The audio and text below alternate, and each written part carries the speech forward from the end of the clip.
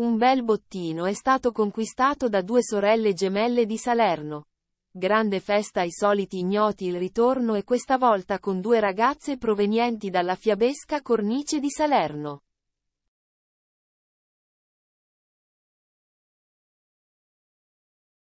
Eleonora e Iole. Questo il nome delle sorelle gemelle che sono giunte in trasmissione con tanta energia e ne sono uscite a testa alta, accaparrandosi un bel bottino.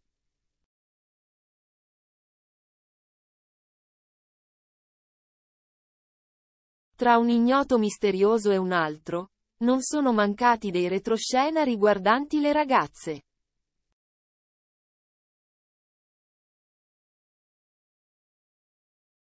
Soliti ignoti il ritorno puntata 24 gennaio.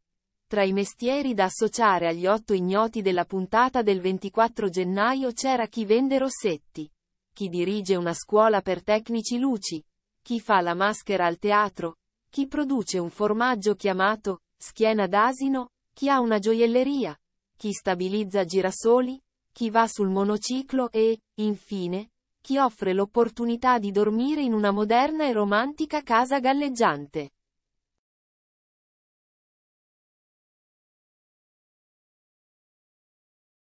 Iole e Eleonora quante identità saranno riuscite ad associare, correttamente, ai rispettivi mestieri?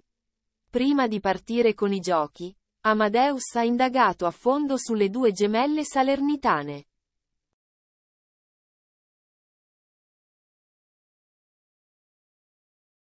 Eleonora di mestiere insegna danza, mentre Iole lavora presso un villaggio fitness.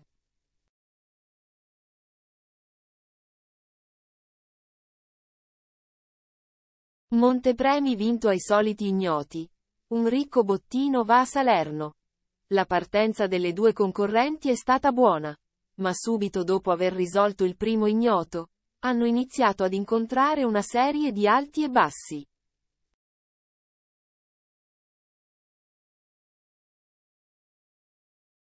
Alla fine, però, sono riuscite ad aggiustare il tiro. Al round finale Eleonora e Iole ci sono arrivate con un montepremi di 121.000 euro.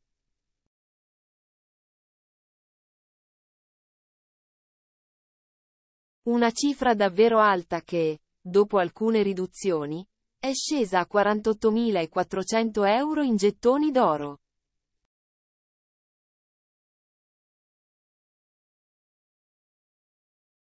Le due sorelle hanno impiegato parecchio tempo a decidere quale ignoto avesse una parentela con la ragazza presente al centro dello studio.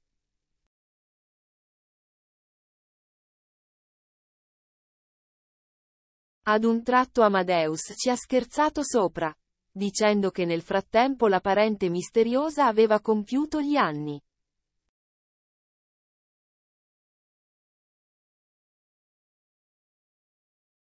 Quando alla fine si sono decise, il verdetto finale ha sancito la loro vittoria.